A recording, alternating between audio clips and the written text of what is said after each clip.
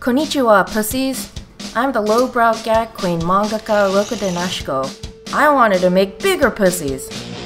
The police saw this as evidence of so called obscenity. July 12, 2014, I was arrested. I was sentenced five years because of one of my songs, which was a mix of rock style singing based on Quran verses. Sexuality is a taboo. Anything there is sex involved, it makes people uncomfortable.